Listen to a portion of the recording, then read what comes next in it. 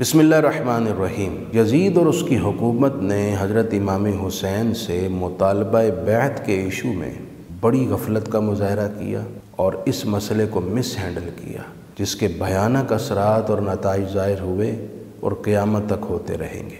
पहली बड़ी गलती यजीदी हुकूमत की ये थी कि उन्होंने सैदना इमाम हुसैन के शर्फ़ आपकी ख़ानदानी नस्बत, आपकी शख्सी वजाहत और आपकी मुख्तलिफ़ नौीयत की ग्रां कदर और बेबहा अजमतों को यकसर नज़रअंदाज कर दिया, जो कि अपनी जगह ईमानी एतबार से बहुत बड़ी गफलत थी।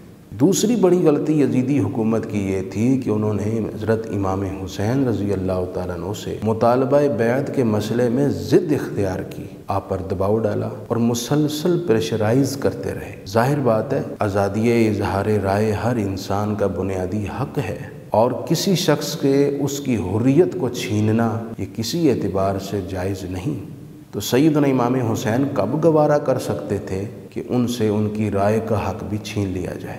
तीसरी यजीदी हुकूमत की बड़ी गलती ये थी। उन्होंने हज़रत इमाम हुसैन से जंग का रास्ता अख्तियार किया। वो चाहते तो तदबीर और हमत अमली के साथ इस मसले को हल कर सकते थे। जबकि ख़ुद सईदना इमाम हुसैन रज़ी अल्लाह तु ने इस बात की लचक दिखाई और आपने चाहा कि जंग की नौबत ना आए। आपने मैदान करबला में भी ये फरमाया कि मुझे या तो मदीन मुनवरा वापस जाने दिया जाए या सरहदी इलाकों में जाने दिया जाए जहाँ मैं अपनी बाकी ज़िंदगी जिहाद में बसर कर दूँ या मुझे यजीद के पास जाने दिया जाए, मैं दूँ बदूँ उससे बातचीत कर लूँ। बड़ा मुनासिब और जायज़ रास्ता था जो हज़रत इमाम हुसैन ने उन्हें दिखाया, जिसमें आप चाहते थे कि तसादम और तशद की नौबत ना आए। लेकिन जब उन्होंने जंग मुसलत कर दी तो ख़ानदान नबूत के चश्मो चराग कभी तजलील को कबूल नहीं करते।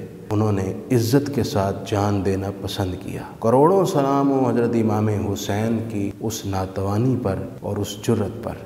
और तुफ और अफसोस और लानत हो उन पर जिन्होंने अहल बैत के साथ ये जुल्म सितम किया। यजीदी हुकूमत की इससे बड़ी बरबरीत और वहशत ये थी और जो सबसे बड़ी गलती है कि उन्होंने हज़रत इमाम हुसैन और आपके अहल बैत और साथियों के साथ वो सलूक किया जो कोई रियासत अपने बड़े से बड़े मुखालिफ के साथ भी नहीं करती। रूह काँप उठती है जो सलूक उन्होंने खानवाद रसूल के साथ किया।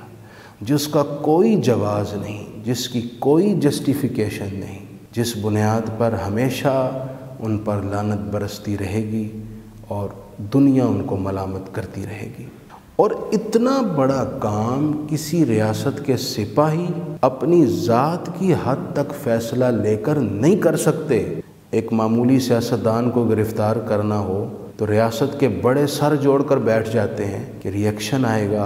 खूब सोचते हैं कि ये इकदाम उठाया जाए या ना उठाया जाए। तो कैसे हो सकता है कि उस वक्त रुए ज़मीन पर सैदा कायनात के वाहिद शहजादे हज़रत इमाम हुसैन और इमाम उलम्बिया के नवासे सैद इमाम हुसैन जिनसे रुए ज़मीन के तमाम मुसलमान मोहब्बत करते हैं। उनके ख़िलाफ़ इतना बड़ा कदम उठाया जाए तो रिएक्शन का डर और ख़तरा तो था। ये एक मामूली दर्जे का सिपाही फ़ैसला नहीं ले सकता। यकीनन इसका फ़ैसला लेने वाली भी टॉप अथॉरिटी थी और वो यजीद था। तो यकीनन यजीद इस फैसले में पूरे का पूरा शरीक था और उसी के कहने पर यह सारा कदम उठाया गया और इसका कोई भी जवाब नहीं पेश किया जा सकता। किसी भी एतबार से देखें तो वाक़ करबला में जो बेरहमी और संग दिली के आखिरी दर्जे का सलूक किया गया, इसकी सारी ज़िम्मेदारी यजीद और उसकी हुकूमत पर है। अल्लाह रबुल्ज़त उन पर अपने कहर व गज़ब ढाए और अहल बैत इज़ाम के फैज़ को